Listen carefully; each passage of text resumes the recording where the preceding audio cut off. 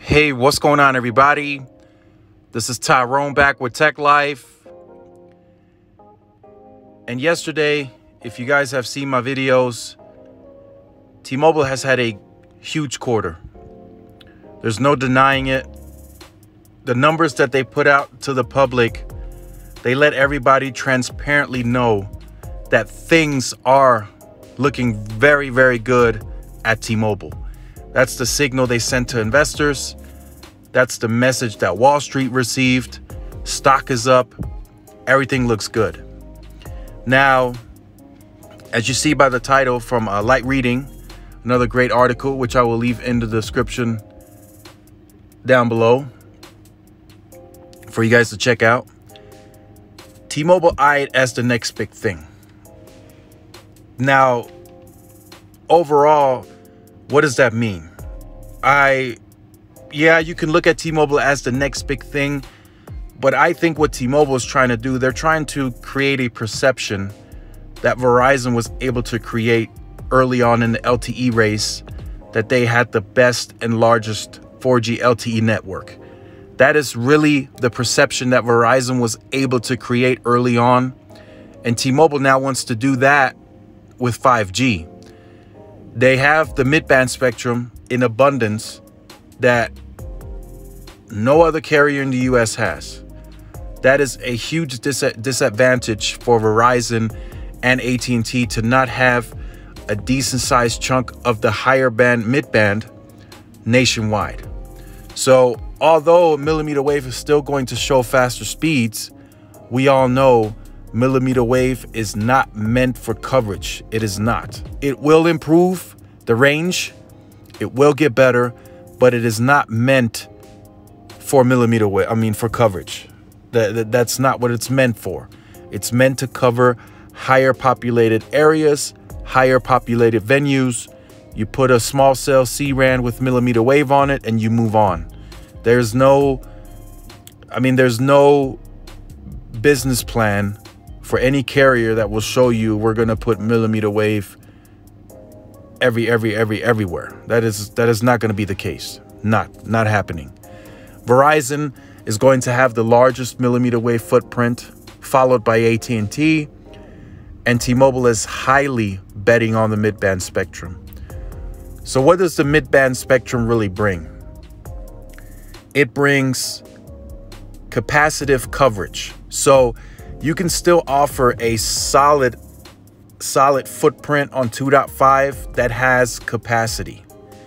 So if you're two, three, four miles away from the site, you could potentially still connect to N41 using HPUE and still have solid capacity that you would not get from the mid-band that's currently in, in today's LTE network. You have, T-Mobile effectively has spectrum that they can strictly dedicate to 5G without having to use DSS or any other technology. They can literally just take that chunk of spectrum, put it on the NR radio, and, and they're good to go. So if we are looking at it from a business standpoint, I think the merger I think the merger was a was was solid because of Sprint doing so poorly. But I think if you look at it from a network perspective, I think the FCC the FCC needed to do a little more because there was an update to uh, Spectrum Omega, and man, if we're talking mid band, I mean, T-Mobile has it.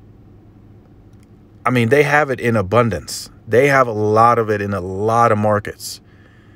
The just keep in mind the the C-band auction is coming up in December, but what's going to happen? Verizon is likely to get the first 100 megahertz that's set to clear December 5th, 2021. But that spectrum is only going to be available in the top 47 markets. T-Mobile has 2.5 way beyond the top 47 markets. I think T-Mobile can adequately cover the top 150 markets that they consider to be the top 150 markets with 2.5. In some areas, T-Mobile has the, the spectrum fragmented, so they're going to try to um, bid in the next upcoming 2.5 auction to make it more contiguous. But other than that, they have more of the spectrum on a more nationwide scale than the first 100 megahertz of C-band. The, the second round, the second 180 megahertz, I don't know how many markets that will be available in. I'll definitely check that out for you guys. But man, the type of lead that T-Mobile could take here, especially if they up their capex even more, is eh, if you look at it from a technical standpoint, it's it's kind of scary how what kind of a lead they could take. If if they don't expand the coverage at first because they're worried about capacity, that is likely going to happen. They are still going to gain some coverage from the Sprint keep sites. I couldn't give you guys an accurate number as to how much coverage they gain, but T-Mobile will gain some coverage from the Sprint keep sites. Not only density, but coverage as well. I've partially partially seen some of the keep sites that they're keeping. There's two in my area that they want to keep that T-Mobile has absolutely no service. So on a grand scale, they will likely not gain a large amount of of coverage from Sprint because Sprint they didn't have, you know, they didn't even have a larger network than T-Mobile, but Sprint did have some coverage gains that where T-Mobile just didn't work. So they will again gain coverage from the Sprint keep sites. But they will have to put the 15,000 sites up that they have planned to cover the footprint outside of their footprint that will take some time. That will definitely take time for T-Mobile to accomplish this. But where they have gained coverage along interstates and, and busy busy highways, they're going to be able to fill in that 2.5. Yeah, it, it's not going to cover as long of a stretch as the low band, but it's going to relieve the site from congestion if it did have it and it's going to put out some some pretty incredible speeds for T-Mobile short term if they are upgrading the network the way they say they are. From what I'm tracking here, I'm impressed. They have two to three crews out there working. I think they have my market done 100% by Q1 next year. That is that is my that is my thinking right now. That's the pace that they're going at. So that's what I'm thinking. Could that change? Of course but they increased the capex by 100 million in Q3. I'm sure they're likely going to do the same in Q4. Q4 they're going to be very active. They're going to be very very very active. If they have to spend if they have 3.2 billion dollars left to spend for the whole quarter, this is going to be the most activity you've ever seen on a T-Mobile network in terms of upgrades. Remember T-Mobile spent as a standalone 6 billion in the entire year. Now they're going to spend half of that just in one quarter. So those are those are some pretty high levels of spending. So just keep all that in mind. Um, very positive take from that quarter. Q4 could could even be bigger. But I think they have I think they have a huge lead over the competition right now.